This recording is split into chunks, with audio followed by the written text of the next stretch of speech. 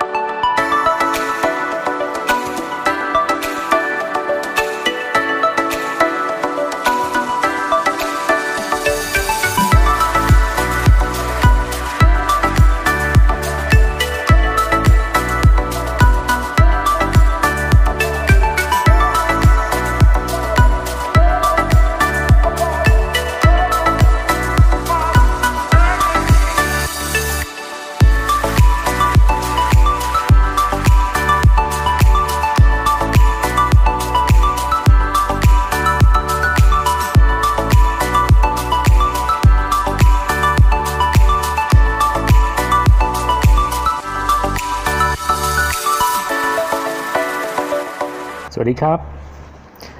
จะเริ่มวิ่งจะเริ่มออกกำลังกายทำยังไง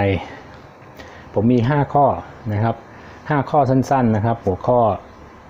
เพื่อที่เป็นแรงบันดาลใจนะครับจากประสบการณ์ของผมเองนะครับ บางทีตัวผมเองอาจจะไม่ไม่ไม่ได้มีคุณสมบัติเพียงพอที่จะมาให้ข้อมูลอะไร เหมือนกับพวก fitness trainer หรือหรือนักวิ่งอะไรนะครับ ก็เป็นแค่นักวิ่งบ้านๆคนหนึ่งนะครับ แต่ว่าจากประสบการณ์ที่ผมลดน้ำหนักของผมจากนี่ครับหุ่นอันนี้นะครับ 4XL นะฮะลงมาถึงทุกวันนี้ก็ประมาณ L นะฮะ L แล้วก็ XL นะครับ ก็ไม่ไม่อยากกลับไปหุ่นแบบนั้นอีกแล้วนะครับ ก็ 5 ทิศนะครับนะก็พยายามนึกย้อนหลังกลับไปนะครับ ว่าตัวเองทำยังไงกับตัวเองนะครับ ก็มาได้สรุปหัวข้ออยู่ 4 หัวข้อนะครับ ก็ อย่างแรกก็คืออย่ากังวลเรื่องระยะทาง อย่ากังวลเรื่องเวลานะครับ คือขอให้มีเวลานะครับ เวลาเนี่ยคือโหจะต้องเข้ายิม1ชั่วโมงเลยเหรอจะต้องไปออกกำลัง1ชั่วโมงเลยเหรอหรือครึ่งชั่วโมงเลยเหรอไม่จำเป็นครับออกกำลังกายกระโดดกระโดดตบอยู่กับที่ก็ได้นะครับนะวิ่งอยู่กับที่ก็ได้นะครับ แค่นี้ 5 นาที 10 นาทีวันแรกๆนะครับ อย่างถ้าจะวิ่งนะครับวิ่งก็วิ่งไปสัก 10 นาที วิ่งไปวิ่งกลับนะครับ เริ่มเริ่มขอให้เริ่มก่อนนะครับ อย่าไปกังวลเรื่องเรื่องเออเออเรื่องของระยะและเวลามากเกินไปนะครับ อันที่สองนะครับข้อที่สองก็คือหาเพื่อนนะครับ เพื่อนติดตัวคืออะไรหูฟังนะครับผมใช้ MP3 นะครับ MP3 นะครับสมัยก่อนก็หูฟังดาวน์โหลดเพลงมาวิ่งไปออกกำลังกายไปนะครับ ก็ทำไปเรื่อยๆนะครับ ก็มันก็เพลินนะครับ มันจะได้ไม่เบื่อนะครับ อันที่สองก็คืออันที่สามโทษนะครับ ข้อที่สามก็คือ อย่ากังวลเรื่องภาพลักษณ์นะฮะไม่มีใครมาสนใจเราหรอกครับ จะตัวใหญ่จะโหจะอะไรยังไงนะครับโอ้ยนี่อ้วนเลยมันอะไรอย่างงี้ไม่มีใครมาสนใจหรอกครับเขาเขาจะเขายิ่งอยากจะช่วยเราด้วยซ้ำไปนะครับนะเอิ่มขอให้ได้ออกไปนะครับ ภาพลักษณ์อีกอย่างก็คือบางคนห่วงเรื่องเสื้อผ้ากางเกงโอ้วันนี้ไปเถอะครับ ขอให้เสื้อยืดกางเกง กางเกงที่สบายๆออกกำลังนะครับรองเท้านะครับให้เหมาะสมนะฮะจะได้ไม่บาดเจ็บนะครับ ขอให้ได้ได้ได้มีอุปกรณ์แบบพื้นๆไปก่อนนะครับ ไม่ต้องไปห่วงเรื่อง โอ้จะต้องมีนาฬิกา จะต้องมีเป้จะต้องมีสายเอ่อเอวไม่ต้องครับนะฮะค่อยค่อยๆเป็นค่อยๆไปนะครับนะครับข้อที่สี่ก็คือเรื่องของท่าวิ่งเรื่องฟอร์ม หรือท่าออกกำลังกายนะครับออย่ากังวลมากเกินไปนะครับอู้ท่าสวยไหมอันอันนี้วิ่งฟอร์มดีไหม อันนี้ออกกำลังยกเวทดัมเบลนะฮะ ค่อยๆเป็นค่อยๆไปนะครับ แล้วก็อย่าไปอย่าไปโหมวันแรกไปไม่ใช่ 30 โอ้อยากจะยกให้หนักๆอะเต็มที่ เดี๋ยวก็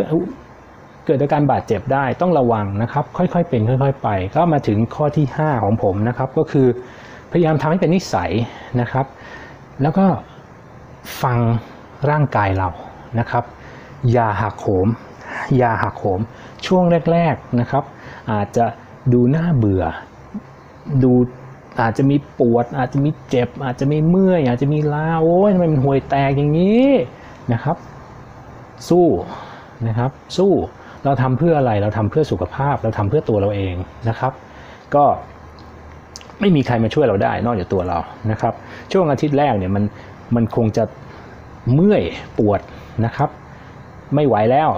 สู้กับมันนะครับ สู้กับมันพอผ่านอาทิตย์ที่ 2 อาทิตย์ที่ 3 แล้วเนี่ยมันจะติดเป็นนิสัยเราแล้วครับ มันอยู่ในระบบเราแล้วนะครับ เลือดลมสูบฉีด ทุกอย่างจะลงตัวด้วยตัวเองนะครับของของมันเองนะครับ พยายามผลักดันตัวเอง พยายามผลักดันนะครับสำคัญก็คืออย่าหักโหมนะครับ มีพักมีผ่อนนะครับ อย่าอย่าไปไม่จำเป็นจะต้องไปโหมทุกวันนะครับ และสำคัญที่สุดมีวินัยนะมีใจมา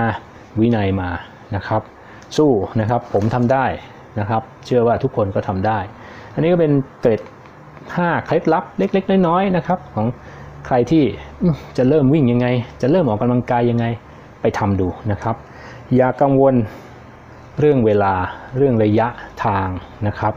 อย่ากังวลเรื่องภาพลักษณ์เสื้อผ้าจะใส่ยังไงนะครับ มีเพื่อนมีหูฟังนะฮะดาวน์โหลดเพลงไปนะครับนะครับ แล้วก็ทำให้เป็นนิสัยนะครับ อย่าห่วงเรื่องท่าทาง อย่าห่วงเรื่องโน้นเรื่องนี้ อย่ากังวลโน่น อย่ากังวลนี่ออกไปเถอะครับนะฮะเริ่มก้าวทีละก้าวนะครับ ก็ ขอบพระคุณนะครับที่ติดตามนะครับคลิปวันนี้นะครับออย่าลืมนะครับกดไลค์ subscribe นะครับ แล้วก็กระดิ่งข้างๆนะครับเผื่อมีคลิปใหม่ๆเข้ามามีอะไรนำเสนอนะครับ ก็ถ้ามีอะไร